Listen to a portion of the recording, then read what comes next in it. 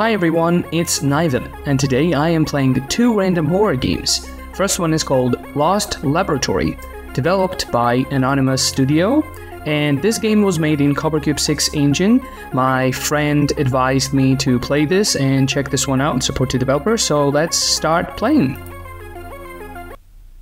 You're a detective investigating a laboratory that has been abandoned for some time, and you suspect that human experiments were taking place in the laboratory. So you decide to take a closer look. Hmm. Find five pieces of evidence that experiments took place. Oh, All right.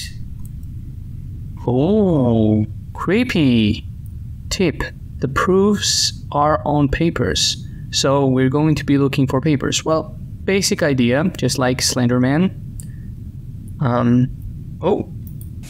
Oh, I found one. I found one. All right, that's cool. That's cool. So, how is everyone today? Oh, oh. I see. Oh, we have a chasing dude. Or maybe gal. Um, how do I escape this? Oh, it's right there. Nice jam! Yeah! So we can juke. What? What? No! You were caught by an entity. Alright, let's retry this one more time. For instance, when I go here, right? Um, yeah, right, right here. I found this piece of evidence, and then, you know, I can juke him, you know, like this. Alright, so here it is. Here. Alright, let's go. So I did this. This is fine. Now, right here, I have this chair. Well, he's not coming at me.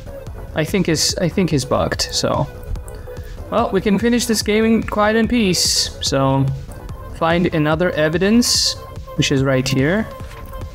And the last evidence would be probably somewhere here. Found it. You got all the proofs. Nice. Now we can go to court.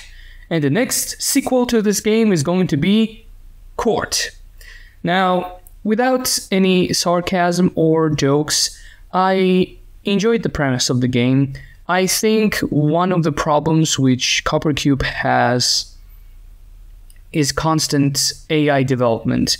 For example, in Unity games and Unreal games, you can kind of have multiple variations of AI chasing you and the NPCs being in the game, but it's very difficult with CopperCube 6, and that's that's the major issue which I'm always having with the bad guys, because creating a bad guy for the game is very important and very difficult. This one was great. Now let's move on to the game number two. And our second game is called Last Stop, developed by muzman123. Let's start playing. I have no idea why I'm so creepy. All right, we're in the car. Oh, oh, oh, oh what's wrong with the mouse? Oh, my neck. I probably have, you know, some type of problem. Uh, do I? Oh, I can drive the car. Oh, sweet. All right, five points to Gryffindor. What a shit day. Couldn't get worse. Well, you tell me. Whoa, whoa, whoa, whoa, whoa, whoa, whoa, what the? Car's gonna run out of fuel soon. Better make a pit stop. Pit stop? What do you think you were like in Formula One race? Oh, nice. No cars at all. Strange. Hold on. Hold on, hold on. Stop, stop, stop, stop, stop. Oh, shit, shit, shit, shit, shit, shit. Crash. I forgot to, uh, I forgot to turn. Oh, frame rate dropped. Frame rate dropped. Alright. Park. Alright, you can park. Oh, we're gonna crash again. Oh, I see. Oh, the mouse sensitivity is so fucking big. Alright. So is anyone here? Notice of closure. Dear drivers, please note that this gas station will be closed starting from redacted on redacted due to the following. Not safe. We are sorry for all inconveniences caused by this closure. Normal operations will resume on don't come back.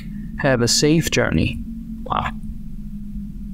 So, we go back? Is that what we do? No. Look at my car. What is this? A racing car. Oh yeah. They should have gas inside it, just need an empty canister. Oh, I see. Hello? Um, hello, sir. Uh, alright, really, wait, wait, wait, wait. Please press E to pick up gas. The heck? Is someone in my car? Oh, it stopped. Alright. Maybe I did stop it. Who knows? Press E. Yeah. Go. Oh, right. We are done. Oh, so I can go? This is kind of nice. I wish someone has made game like this. In terms of like just driving at night and there was a big road, maybe like 15 minutes to 20 minutes, even an hour. Like I would literally pay money for a game like that and you have random things happening in the game. That that would have been, you know, decent. Decent game. But yeah, it takes a lot of time. I actually like the car's movement, but oh shit, shit, shit, what the fuck, what the fuck, what the fuck, what the fuck, what the fuck? What? Did I, did I crash?